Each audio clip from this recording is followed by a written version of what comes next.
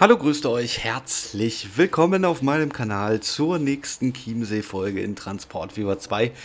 Wie immer freue ich mich sehr, dass ihr dabei seid. Ja, wir gucken hier auf den Flughafen Traunstein hier über den Kreisel hinweg. Fand ich eine sehr, sehr schöne Ansicht. Ziemlich cool.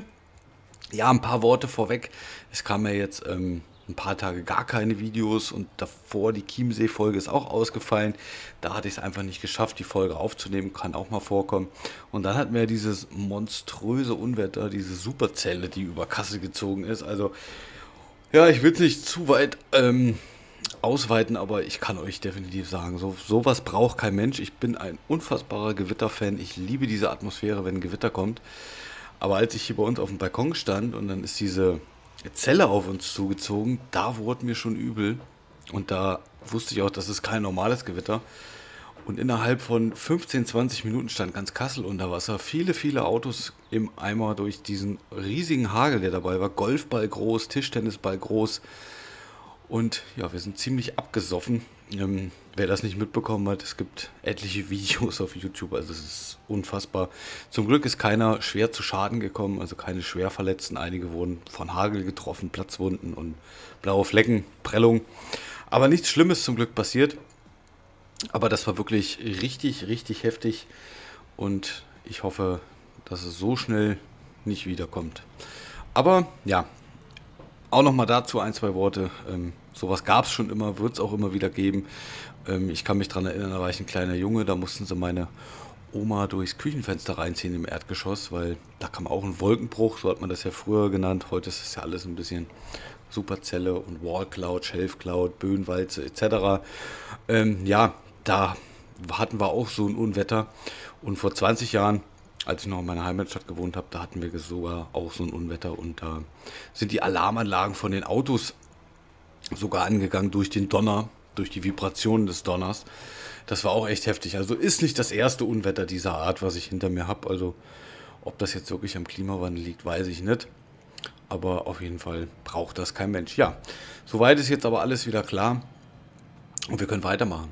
Die Flugzeuge starten schön und landen sehr, sehr cool.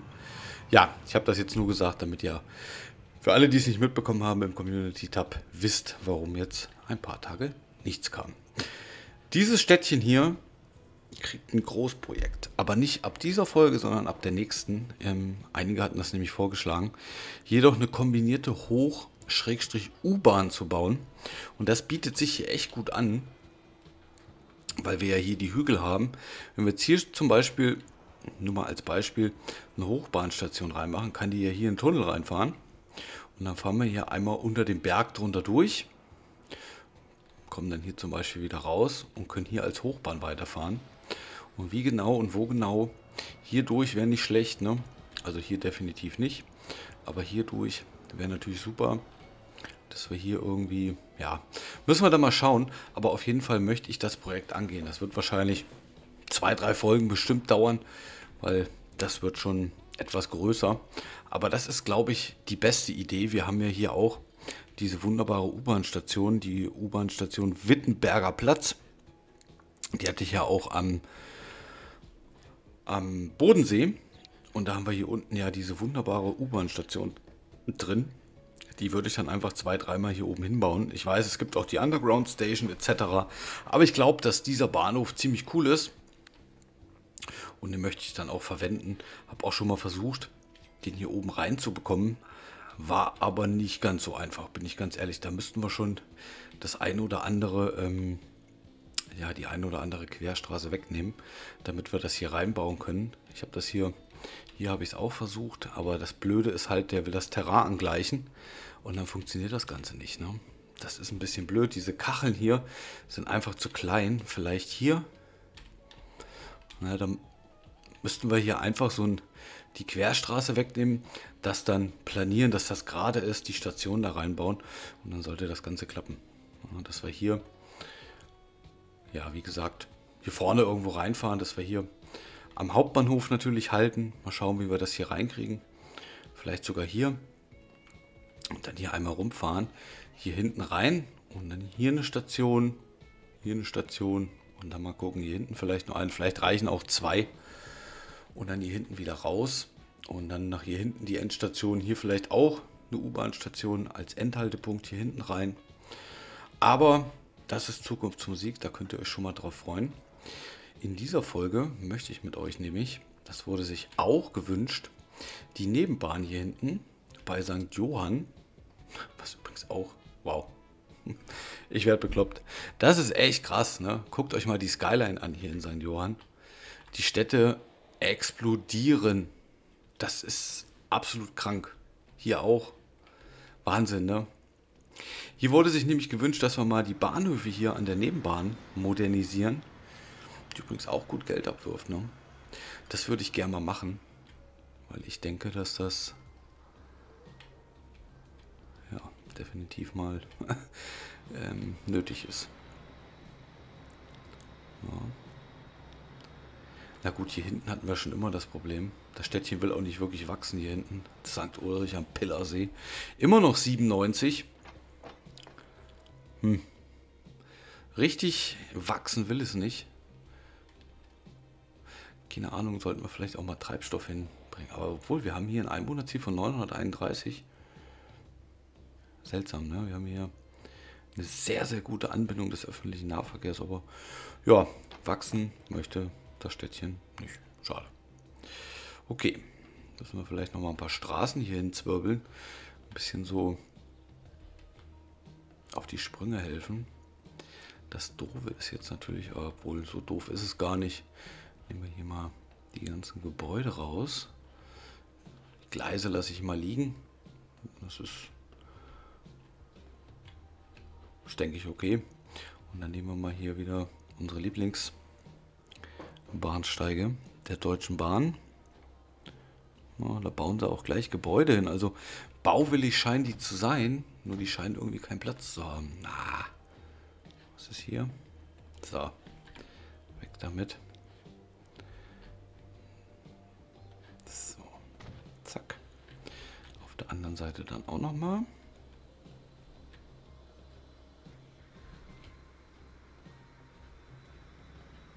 Noch mal kurz zu dem Unwetter. Normal stehe ich dann immer auf dem Balkon, wenn draußen Gewitter ist. Guck mir das Ganze draußen dann an, aber diese Böhnwalze ist über uns drüber gezogen. Das ist diese Walze, die vorne an so, an so einer Superzelle dran ist, die quasi alles einsaugt. Kaum war die drüber gezogen, ging draußen der Sturm los und ich wollte einfach nur noch rein. Das war wirklich der absolute Wahnsinn. Hauptgebäude, na gut, das brauchen wir hier gar nicht, ne? Brauchen wir hier ein Hauptgebäude mit Eingang? Ja, sonst haben wir hier hinten natürlich ähm, ja, nur die Prellböcke. Das sieht natürlich ein bisschen komisch aus. Dann, dann brauchen wir noch Seitengebäude. Passen die hier rein? Nö. Ja, die haben auch keinen Zugang. Da könnten wir auch das nehmen. Ne? Ist vielleicht ein bisschen oversized. Hier mit Zugang. Hm. Dann haben wir nur noch die Gebäude, die passen hier eh nicht hin. Hm, hm. Was nehmen wir hier? Güterschuppen? Nee. Dann nehmen wir einfach die hier. Ne? Noch stehen geblieben quasi. Ja, klein. So. Zack. Okay. Ähm, hier bauen wir aber auch Fahrstühle rein. Wenn man hier reinkommt, dass man zack einmal gleich rüber gehen kann. Und dann meine Lieblingsunterstände. Mag die sehr. Diese roten. Dann hätten wir den ersten Bahnhof modernisiert. Und dann mal gucken, dass wir hier eventuell sogar, damit die Stadt mal wachsen kann, einen Bahnübergang hier irgendwo drüber kriegen. Ja, es wird schwierig, ne? Das wird halt echt schwierig, hier einen Bahnübergang reinzukriegen. Wenn dann hier, aber ja, das ist nicht auf einer Höhe. Puh. Bahnübergang würde, glaube ich, hier gut gehen. Ja, hier geht ein Bahnübergang rein. Machen wir mal. Dass wir der Stadt einfach sagen, guck mal, hier hinten hast du auch noch Platz. Bau doch mal hier. Genau, und dann machen die das nämlich auch gleich. Hier dann wie so eine Wendeschlaufe rein. So. Dann können die auch hier bauen. Vielleicht gar nicht so schlecht. Dann hier durchs Moor. Einmal hier rum. Können die auch hier anbauen. Und hier brauchen wir dann natürlich noch was mit Schranken. Ja, das ist ganz okay so. Dann bin ich mal gespannt, was das Städtchen macht. Und wenn die hier dann bauen, können wir hier auch noch einen Zugang reinsetzen. Gut, das wäre der erste Streich. Der zweite folgt zugleich. Nämlich hier in Weitring. Hier würde ich fast nur die Dächer rausnehmen. Ist der Bahnsteig eigentlich? Ja, nee, das Doofe ist, wenn wir hier die Bahnsteige lassen, dann können wir, wenn wir hier zum Beispiel einen Fahrstuhl draufsetzen, ne, dann ist, ja, dann sieht das so aus. Das wollen wir natürlich nicht. Deswegen muss auch hier der Bahnsteig na, weichen. Ja, das ist wieder super. Mit dem Abreißpunkt, der ist irgendwo hier hinten.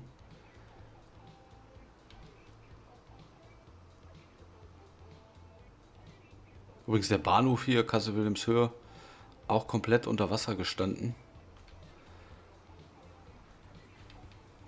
Es war wirklich extrem. Wirklich extrem. In einer halben Stunde so viel Regen gefallen wie sonst in einem ganzen Monat. Das war wirklich bemerkenswert. So, Plattform. Nehmen wir aber eine etwas modernere. Nehmen wir mal hier die 2000er.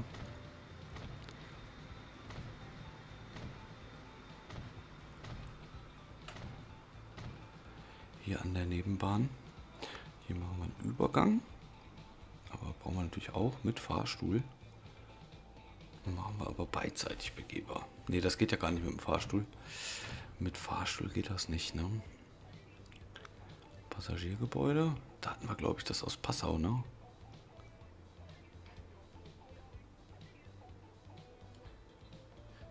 Das mit zu? Ne, das war zu groß. Das hier war das auch nicht. Ach, super, wenn man sich gemerkt hat, welches Gebäude hier stand. Das war das, ne? Ich glaube, das war das. Mal zwei Stück.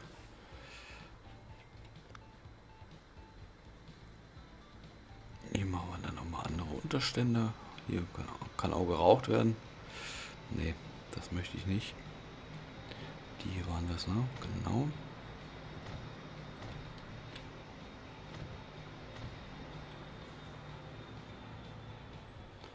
Etwas ältere Bänkchen. Und dann passt das auch hier. Schön. 612er donnert wieder raus. Schön. Immer wieder herrlich, den Zügen zuzuschauen.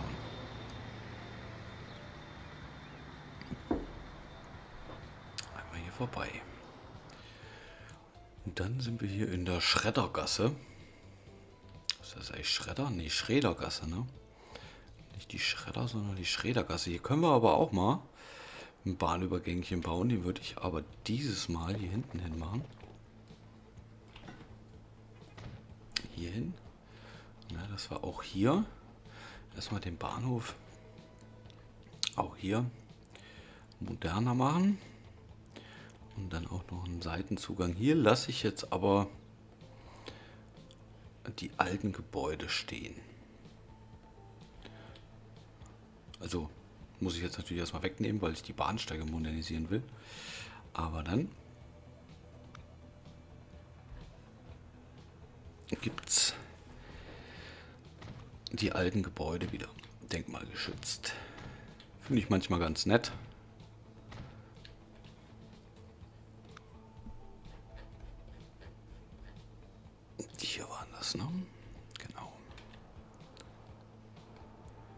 Manchmal ist sowas ganz cool.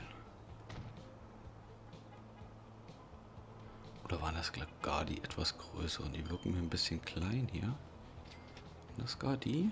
Nee, die passen nicht. Da könnte es nur die gewesen sein. So. Dann hier Treppen von hier hinten. So. Hier nehmen wir wieder Fahrstühle. Einer reicht.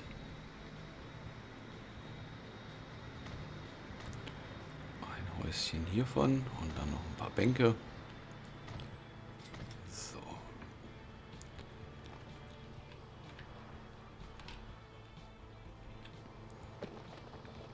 Na, die Städte sind ja noch nicht groß genug, da müssen wir den Städten auch noch mal helfen. Dass sie sich hier noch mehr vergrößern. Das ist natürlich Ehrensache. Definitiv Ehrensache. Äh, nee. Gut, dann lassen wir das. Könnten wir... Nee. Lassen wir so.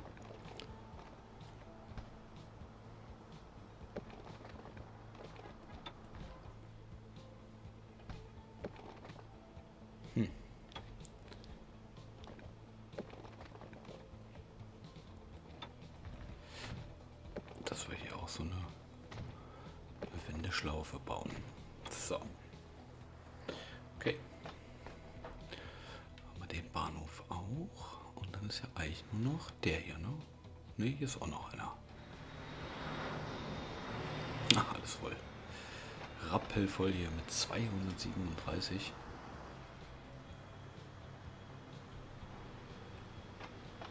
Kommen die Massen hier raus. Flughafen auch alles voll. Einige von euch hatten auch geschrieben, dass sie ähm, für jede Linie für jede einzelne Linie ein eigenes Gleis haben. Das finde ich schon bemerkenswert. Also finde ich krass, bin ich ganz ehrlich.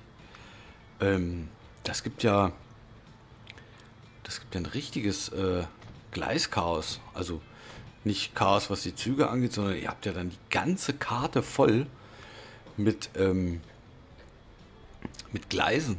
Also das finde ich persönlich dann, jeder natürlich so wie er mag, ne? Aber das finde ich dann persönlich doch schon ein bisschen, ja, krass. So, hier nehmen wir am Flughafen natürlich die richtigen Terminals hier. Finde ich passt immer ganz gut. Einmal ein Fahrstuhl.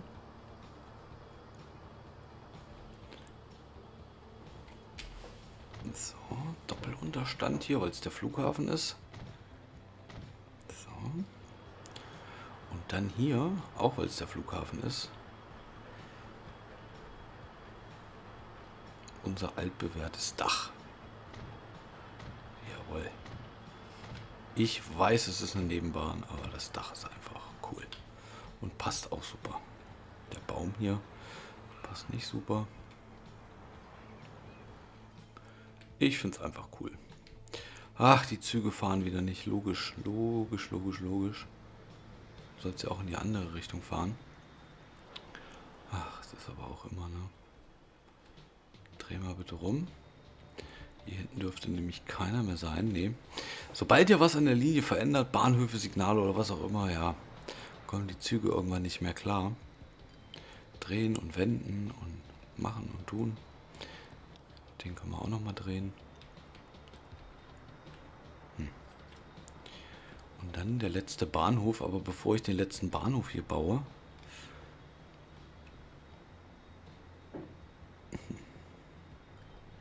Ja, sei es drum. Das bleibt jetzt so hier. Machen wir hier, war ja nur der eine Bahnübergang. Genau, Schranken hin. Und dann kümmern wir uns noch um diesen Bahnhof hier. Auch rappelvoll. Man hätte jetzt natürlich auch einfach alle Bahnhöfe neu setzen können. Aber dann habe ich immer Schiss, dass irgendwas schief geht, weil man die Gleise ja hier weggenommen hat. Und so nehmen wir ja nur die Bahnsteige weg, die Gleise bleiben liegen, also die Linien kommen dann nicht durcheinander. Die Züge kommen durcheinander, aber die Linien an sich nicht. Weil ja der Haltepunkt noch da ist quasi. Und deswegen lasse ich das immer gerne. Hier machen wir dann aber mal wieder eine Überführung. Einmal oben drüber. Und brauchen natürlich ein Passagiergebäude. Auch hier machen wir ja, einfach die alten aus Nostalgiegründen bleiben die alten Gebäude. Natürlich immer, wo das geht hier, ne? ist ja eine Treppe gebaut.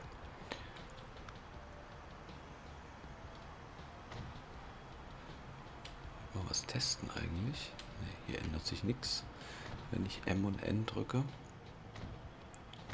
Schön. Okay. Aber Wahnsinn, die Skyline. 1740 Einwohner. Wahnsinn. Einfach nur der Wahnsinn. Der A101, 20 Millionen. Ich glaube, die 218er dran, ne? Genau. Wunderbar. Wunderschön. Rosenheim St. Johann. Da könnten wir auch noch mal, könnten auch noch mal einen Flughafen bauen, ne? Könnten wir eigentlich auch nochmal machen. Was macht Traunstein? 4451. Richtig, richtig, richtig heftig.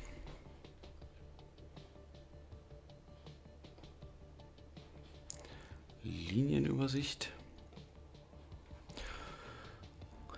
Unsere Intercity-Linie immer noch am ertragreichsten.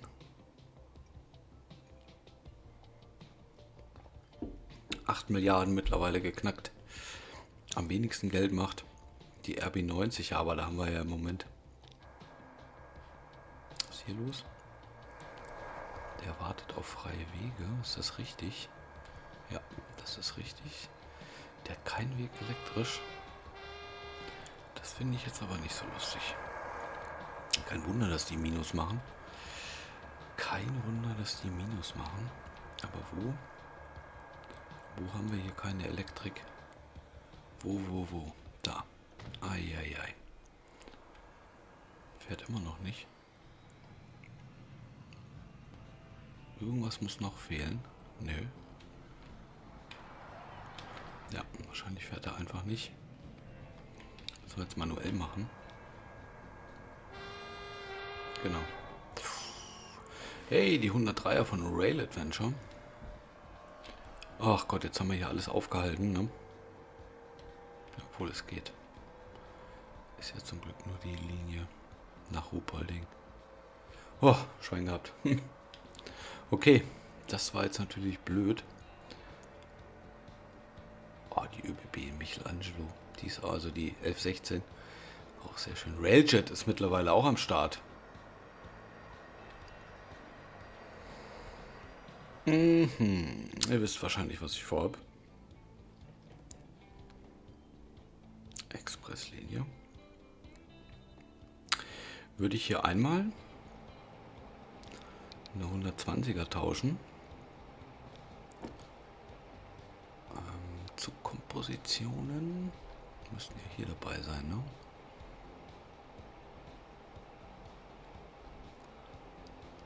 Na, da ist er. Aber die wollte ich gar nicht. Okay, wir haben die Lokomotive der Red Bulletin, aber wir haben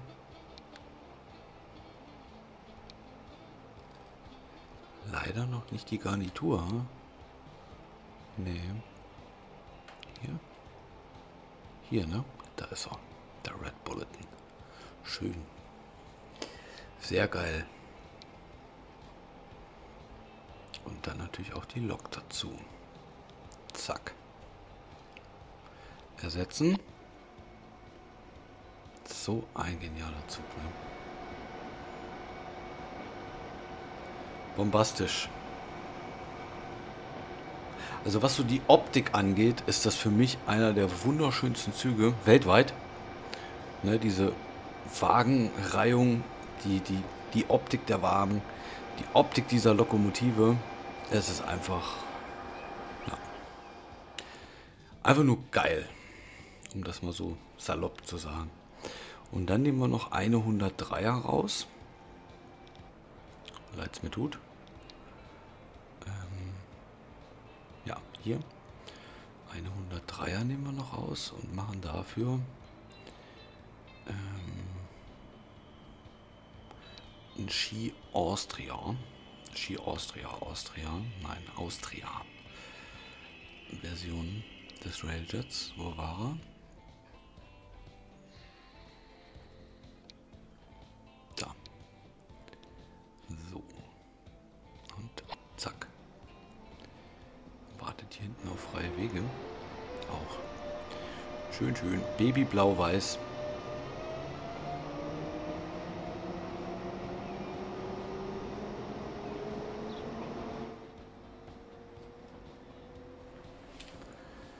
Und fährt hier in den Flughafenbahnhof ein. Echt eine der coolsten Stellen auf der Map, finde ich. Die Hochbahn zusammen mit dem Bahnhof hier und dann der Flughafen. Finde ich wirklich sehr, sehr gelungen, die Stelle hier. Muss ich mich auch mal selber loben. Darf auch mal gestattet sein. Machen die hier Plus oder Minus? Nur der Verstärker macht Plus. Ah, die Hochbahn macht natürlich mega Minus. Aber können wir uns erlauben. Denke ich. Schön. Mit dem Railjet, der hier einfährt, machen wir an der Stelle Schluss. Und ich bedanke mich wieder recht herzlich fürs Zuschauen. Hoffe, es hat euch gefallen. Und ab der nächsten Folge dann Großprojekt Traunstein, die kombinierte Hoch-Schrägstrich U-Bahn. Dankeschön und bis zum nächsten Mal. Ciao, ciao.